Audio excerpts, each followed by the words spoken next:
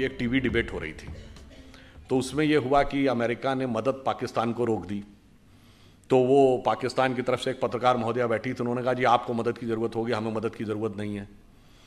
तो हमने कहा, जी, हमें, हम अमेरिका से क्या लेते हैं, ये इंपॉर्टेंट नहीं है। हम अमेरिका को क्या देते हैं?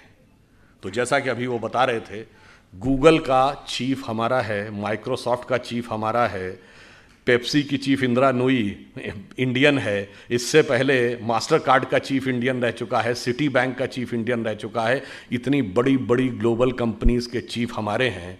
मैंने कहा, आपके यहाँ भी बहुत सारे चीफ हैं, लश्कर तैयबा का चीफ है, जैश मोहम्मद का चीफ है, अलकायदा का चीफ होता है। मैंने कहा, इतना बड़ा अंतर है कि हम पचहत्तर साल में कहाँ पहुँचे हैं कि अमेरिकन मल्टीनेशनल्स भारत में आती हैं टैलेंट हंट के लिए।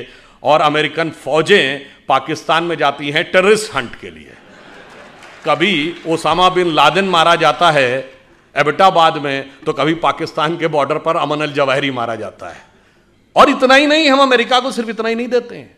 जैसा कि अभी मोहित जी कह रहे थे कि भाई, मैं तो बिज़नेस का व्यक्ति हूँ तो समाज, राजनीति, आध्यात्म, इस विषय पर तो मैं नहीं बोलूँगा। मैं तो बताता हूँ कि बिज़नेस और आध्यात्म का भी हमारे यहाँ कैसा कनेक्शन है। हम सब व्हाट्सएप यूज़ करते हैं।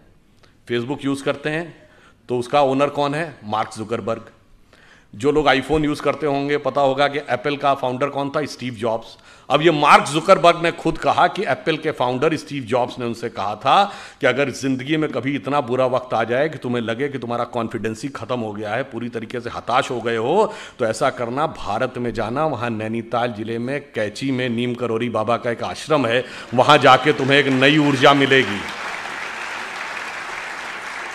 और मार्क्स जुकरबर्ग ने कहा कि मैं आया, वो दौर जब आया और मुझे एक नया कॉन्फिडेंस मिला और जाके फिर मैंने नए सिरे से यह रचना प्रारंभ की तो हम बिज़नेस के साथ साथ हम यह भी देते हैं, तभी हमने कहा कि हम सोने की चिड़िया के साथ साथ जगत गुरु भी बनेंगे, यही हमारा भवितव्य है। परंतु इस अमृत काल से पहले हमें यह भी समझना होगा कि अमृत तो बाद में आता है, सागर मंथन में विष पहले आता है। बहुत सारा विष हमारे दिमागों में भरा हुआ है।